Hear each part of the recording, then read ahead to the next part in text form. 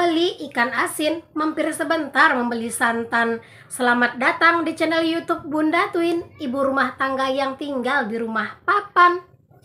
Assalamualaikum warahmatullahi wabarakatuh. Welcome back to my youtube channel. Ketemu lagi sama aku Bunda Twin. Kali ini aku mau share kegiatan aku lagi seperti biasa Kegiatan seputaran ibu rumah tangga pastinya. Dan kali ini tuh aku mau masak-masak lagi. Jadi teman-teman ini tuh di sore hari ya. Kalau udah namanya masak-masak Ini adalah kegiatan aku di sore hari. Maafkan jika menu masakan aku itu kayak selalu berulang Sama dan kayak hampir-hampir uh, bersama gitu ya setiap harinya karena memang menu-menu seperti itulah yang kami sukai. Kali ini tuh aku mau masak gulai jengkol dicampur sama daun singkong. Jika kalian itu ngerasa bosan dengan menu masakan aku boleh untuk kalian skip. Tapi buat kalian itu yang penasaran, kalian tonton terus video aku ini sampai selesai dan jangan kalian skip-skip.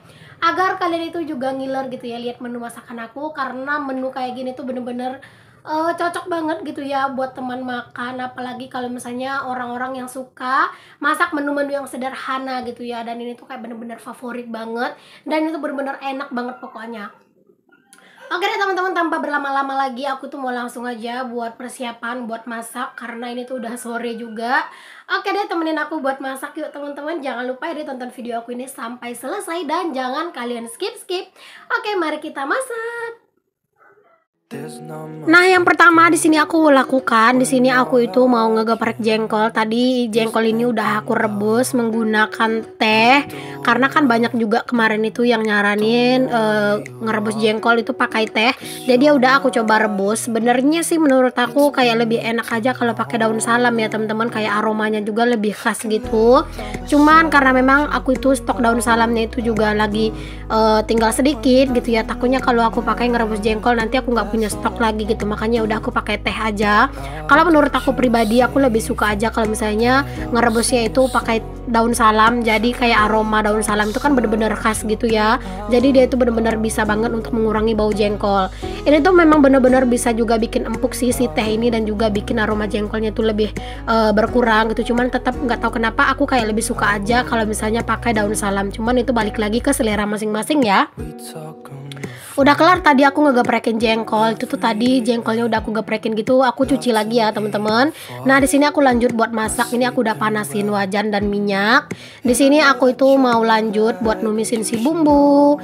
Jadi ini tuh bumbunya uh, aku tuh pakai bumbu yang simple aja ya. Kayak bawang merah bawang putih. Aku menggunakan cabai rawit. Aku nggak kasih cabai merah karena memang lagi pengen aja kalau misalnya kuahnya itu agak kuning-kuning gitu terus pakai kemiri. Pokoknya kayak resep-resep masakan yang biasa aja lah gitu ya teman-teman. Nggak ada bumbu-bumbu yang spesial gitu.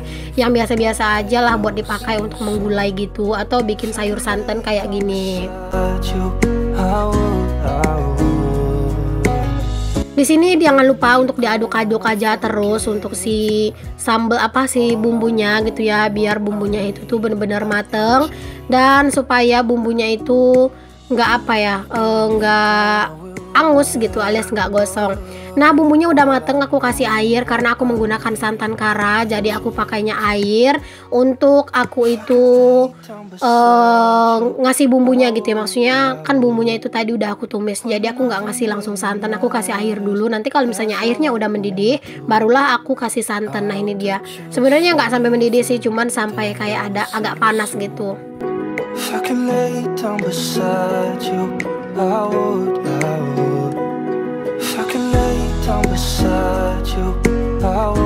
Kalau udah dikasih santan, jangan lupa untuk diaduk-aduk terus sampai rata. Karena beneran deh teman-teman kalau misalnya uh, kayak gini uh, santan kayak gini tuh kalau misalnya nggak diaduk-aduk sampai rata kayak kadang tuh sering kayak menggumpal-gumpal gitu kan apalagi santan instan gitu. Nah teman-teman sambil aku nungguin santannya itu tuh mendidih dan matang secara sempurna, di sini aku juga lanjut buat menggoreng si bala-bala alias bakwan sayur. Di sini tuh bakwan sayurnya kelihatan kayak polos banget ya teman-teman karena tadi aku cuman kasih kol sama wortel doang gitu aku tuh nggak ada kasih daun bawang atau daun seledri karena aku nggak punya jadi aku bikin dengan bahan yang seadanya aja Nah, buat kalian itu yang nanya kalau misalnya bikin bakwan itu kalau aku sendiri itu kayak gimana karena kadang aku nggak share resep gitu ya teman-teman karena menurut aku kalian semua juga udah bisa gitu ya. Nah, kalau misalnya aku bikin bakwan kayak gini aku cuman kasih bawang merah, bawang putih, lalu aku kasih merica bubuk kayak gitu terus dikasih garam, dikasih juga uh, roiko atau penyedap rasa gitu, terus aku pecahin telur satu. Dan terkadang juga kalau misalnya pas lagi rajin aku juga kasih uh, apa ya mentega cair gitu teman-teman. Kayak lebih gurih aja gitu rasanya.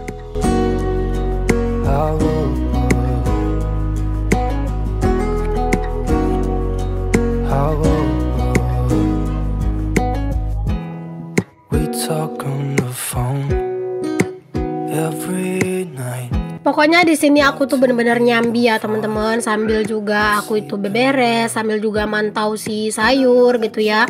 Itu tuh tadi say sayurnya itu udah aku masukin ya atau daun singkongnya udah aku masukin. Aku nggak rebus dulu daun singkongnya karena kan ini cuman sedikit terus juga daun singkongnya itu lumayan muda-muda. Jadi aku tuh tetap aja ya teman-teman untuk si daun singkongnya itu aku masukinnya di awal aja. Pokoknya kalau misalnya daun singkongnya itu muda, aku langsung masukin kayak gitu pas udah santai mendidih langsung aku masukin gitu, nggak aku pakai pakai rebus. Kalau misalnya daun singkongnya itu rada tua, biasanya ya aku rebus dulu gitu ya biar empuk. Nah itu teman-teman untuk bakwannya aku gorengnya sedikit aja dulu. Kalau misalnya nanti pak suami pulang dia mau aku bakal gorengin lagi. Kalau sekarang ini aku gorengnya buat aku sama anak-anak aja buat dicemilin gitu ya teman-teman. Nanti kalau misalnya pak, pak suami pulang terus dia mau ya udah aku bakal gorengin gitu buat pak suami. Lebih enak gitu kan kalau misalnya gorengan kayak gini tuh dimakan anget-anget gitu. If I can lay down beside you Oh ya teman-teman, aku itu masaknya yang super super simple. Itu tadi jengkolnya juga udah aku masukin, daun singkongnya juga udah lembut dan alhamdulillah ini tuh kayak udah mateng aja. Pokoknya nggak banyak-banyak resep gitu. Yang penting dikoreksi rasa, dikasih garam, dikasih micin atau mungkin dikasih roiko gitu. Pokoknya disesuaikan aja dengan selera. Aku sih kalau masak kayak gini tuh nggak ribet-ribet, nggak banyak bumbu karena kalau yang banyak yang banyak-banyak bumbu aku juga nggak paham gitu ya masaknya. Nah kalau udah mateng kayak gini tuh udah tenang ya teman-teman Oh ya jangan salfok sama hijab aku yang agak naik ke atas di bagian belakang. Aku tuh nggak ngeh gitu teman-teman.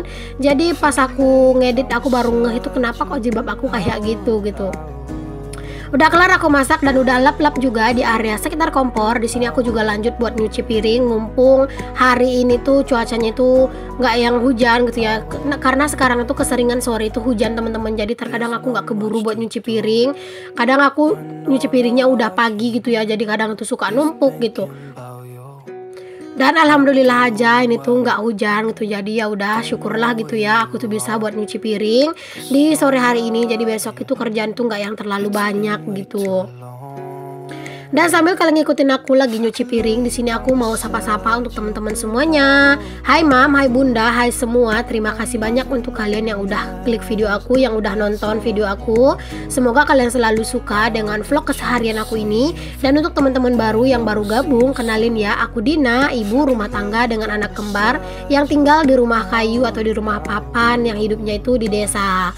Karena kalau misalnya hidup di kota, aku nggak bisa share karena kan aku tinggalnya di desa gitu ya. Apaan sih? Nggak jelas banget pokoknya kalau misalnya kalian suka sama video aku ini dan jika kalian berkenan juga boleh kalian bantu support channel aku ini dengan cara klik tombol subscribe dan kalian nyalakan lonceng notifikasinya agar kalian nggak ketinggalan kalau ada video terbaru dari aku. Jadi kalau misalnya kalian itu belum nyalain lonceng kalau ada video terbaru dari aku kalian nggak akan mendapatkan notifikasinya.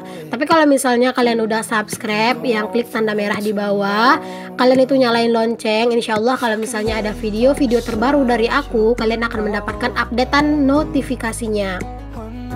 Oke deh teman-teman, kita balik ke videonya lagi. Di sini aku itu uh, nyuci piringnya itu kayak udah hampir kelar sih ya, karena memang cucian piring aku ini juga nggak yang terlalu banyak sih kalau menurut aku. Kalau menurut aku ini tuh nggak banyak ya teman-teman, karena kan aku nyucinya itu lesehan gitu. Jadi kalau misalnya nyuci lesehan, kalau segini mah nggak banyak gitu ya. All I know, what I need banyak banget yang bilang sama aku katanya itu enak banget baknya Bunda Twin itu besar gitu ya. Iya alhamdulillah teman-teman. Cuman sayang teman-teman ini tuh nggak ada atapnya gitu ya. Terus ada juga yang tanya Bunda Twin itu kan nggak ada atapnya gitu ya. Apa nggak suka apa suka apa nggak ada gitu orang yang ngintip-ngintip atau gimana gitu? Alhamdulillah sih selama ini belum ada ya teman-teman kalau orang yang ngintip-ngintip kayak gitu. Karena rumah aku ini kan dikelilingin rumah gitu. Rata-rata juga pintu dapurnya mereka itu arah ke rumah aku gitu. Mungkin itu ya teman-teman. Makanya kayak aku tuh kayak ngerasa adem ayem aja sih gitu. Kalau misalnya mau ngapa-ngapain gitu ya di kamar mandi. Jadi kayak nggak takut gitu ya. Dan semoga lah insya Allah gitu ya nggak ada hal-hal yang aneh-aneh karena itu juga lah sekarang prioritas aku sama pak suami ya teman-teman. Nabung agar bisa segera ngerenov kamar mandi dan dapur. Jadi insya Allah kalau misalnya nanti budgetnya itu udah cukup di tahun ini insya Allah di awal tahun depan itu kami akan segera berburu oh berburu bahan-bahannya dan juga kalau misalnya nemu tukang bakalan langsung dikerjain gitu. Jadi sekarang aku itu mau fokus aja untuk nabung. Dari gaji atau endorse aku aku nabung buat aku itu ngerenov dapur gitu ya. Kalau sekarang itu uangnya masih belum cukup. Kalau untuk beli bahan mungkin udah cukup ya teman-teman uang tabungan aku sama pak suami. Tapi kalau untuk tukang tuh tuh masih belum masih belum cukup gitu tunggu dulu kalau misalnya nanti uang beli bahan dan juga uang tukangnya itu udah cukup baru dibeli gitu ya. Karena memang untuk tabungan aku itu tuh semuanya itu bukan uang cash ya teman-teman. Melainkan emas gitu ya. Aku tuh kadang cicil setengah emas kadang satu emas kayak gitu. Pokoknya dicicil-cicil kayak gitu. Jadi nanti kalau misalnya aku itu udah bisa untuk ngejual emas baru aku beli bahan. Kalau sekarang harga emas di tempatku itu tuh lagi murah. Jadinya aku itu nggak jual emas gitu ya. Aku bakal tunggu dulu untuk harga emas itu naik baru nanti bakalan aku jual gitu emas-emasnya semuanya dan dibelikan bahan. Doain ya teman-teman agar semua tabungan aku itu benar-benar cukup untuk membuat dapurku itu menjadi dapur batu bata gitu atau dapur bata atau dapur batu lah gitu ya Oke, kita balik ke videonya lagi. Di sini tuh aku lanjut buat ngelipatin pakaian ya, teman-teman. Jadi tadi pakaian yang aku angkat dari jemuran itu langsung aku lipat aja karena memang ini tuh aku lagi senggang gitu ya, nggak terlalu banyak kegiatan. Sambil aku ngajakin anak-anak main di teras. Di sini aku lanjut juga sekalian buat ngelipatin pakaian ini tuh tadi sebenarnya Pak suami juga ada di sini buat nemenin aku tapi Pak suami itu mau pergi mancing. Jadi aku itu ya udah ajak anak-anak aja main di luar biar anak-anak itu nggak terlalu nangis gitu ya ketika ngeliat ayahnya pergi. Karena biasanya anak-anak itu kalau misalnya ngeliat ayahnya pergi dan mereka itu di dalam rumah mereka itu biasanya nangis gitu. Tapi kalau misalnya pas mereka lagi asik main kayak gini terus ayahnya pergi mereka tuh nggak open gitu Aku tuh bersyukur banget ya teman-teman punya teras yang luas seperti ini. Anak-anak mau main juga bebas gitu ya kayak lebih leluasa anak-anak buat main. Aku juga beraktivitas juga lebih enak gitu ya di sini kayak ngerjain hal-hal yang santai kayak ngelipat pakaian ini. Ini kan kerjaan yang santai gitu ya jadi bisa sambil mantau anak-anak main di teras. Dan anak-anak juga bebas buat berlari-lari gitu. Nah itu kalian jangan salfok anak-anak itu mondar mandir karena mereka itu lagi kejar-kejaran gitu teman-teman sambil ketawa-ketawa sebenarnya Cuman karena ada suara musik, jadi aku nggak bisa kasih sound suara asli.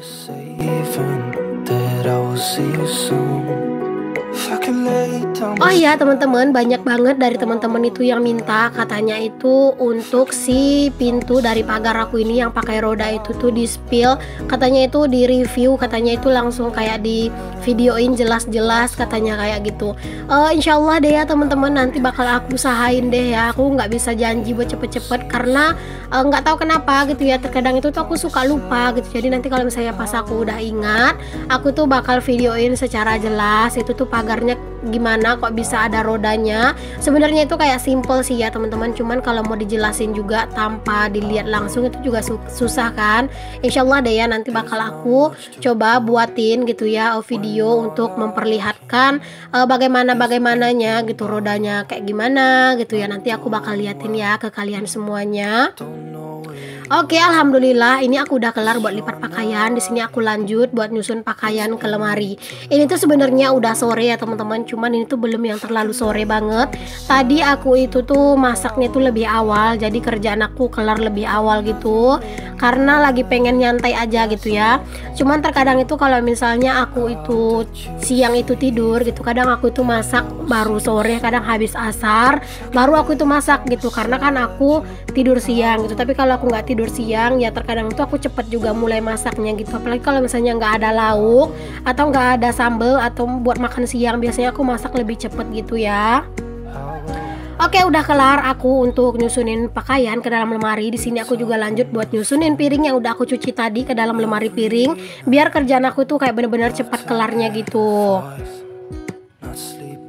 Nah kalau misalnya nanti aku udah kelar buat nyusunin piring ini Aku tuh tinggal santai-santai Aku itu tinggal mandi Lalu aku itu bisa lehe lehe lehe Maksudnya leha-leha gitu ya Sambil nemenin anak-anak nonton TV Terima kasih banyak ya untuk kalian semua yang udah nonton video aku sampai di detik ini. Semoga apa yang aku share ada manfaat yang bisa kalian ambil. Maaf kalau misalnya video aku ini masih banyak kekurangan. Jika ada kritik dan saran untuk video aku ini lebih baik ke depannya boleh untuk kalian sampaikan dengan bahasa yang sopan di kolom komentar. Dan jika ada kalian itu pengen request dibikinin video apa, boleh untuk kalian tulis aja di kolom komentar. Kalau misalnya aku bisa, ya bakal aku usahain. Tapi kalau nggak bisa ya harap dimaklum ya teman-teman. Sampai ketemu lagi di video aku yang berikutnya yang akan tayang dalam satu hari itu dua kali setiap jam 9 pagi dan jam 5 sore. Assalamualaikum warahmatullahi wabarakatuh. Bye. I can lay down beside you